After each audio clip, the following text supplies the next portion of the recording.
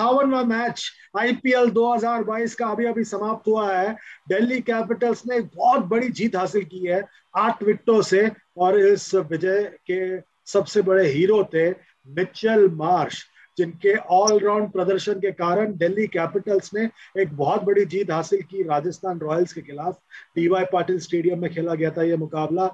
नवासी रन बनाया Mitchell Marsh ने, दो विकेट निकाले और राजेश यादव जी मेरे साथ हैं। वो सही मायने में आज प्लेयर ऑफ़ द मैच थे। जी हाँ बिल्कुल, जिस प्रकार से उन्होंने बल्लेबाजी की, एक विषम परिस्थितियों में जीते हुए हार मैच को, हारे हुए मैच को पूरी तरह से जीत के कगार पर उन्होंने ले आया और जिस तरह से उन्होंने बल्लेबाजी की सबको अपनी तरफ़ आकर्षित किया और एक उम्दा, बेहतरीन पारी उन्होंने यहाँ पर बल्लेबाजी में खेली है।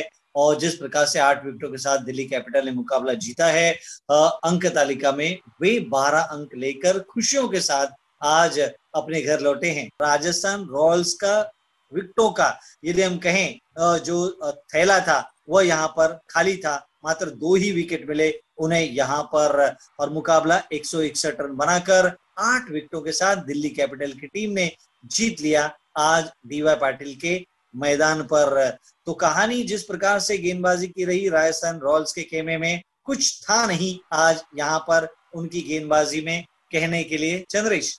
बिल्कुल, दे एक नज़र पॉइंट्स टेबल पर डाल देते क्या हाल है आज के मैच के बाद पॉइंट्स टेबल पर। तो चलिए देखिए, राजस्थान रॉयल्स अभी भी तीसरे पायदान पर है, दिल्ली कैपिटल्स अभी भी पाँचवें पायदान पर है। पर दिल्ली कैपिटल्स को दो अंक प्राप्त हुए 12 पॉइंट पर पहुँच चुके 12 मैच के बाद। और राजस्थान रॉयल्स अभी भी 14 पॉइंट पर है। तो जो प्लेऑफ के लिए जो दौड़ है अभी भी बहुत कठिन दौड़ बन, बना हुआ है। गुजरात टाइटंस के लिए कोई तकलीफ़ की बात नहीं वो प्लेऑफ में पहले ही पहुँच चुके हैं। पर आज के मैच के बाद राजस्थान रॉयल्स के लिए भी एक चिंता का विषय है।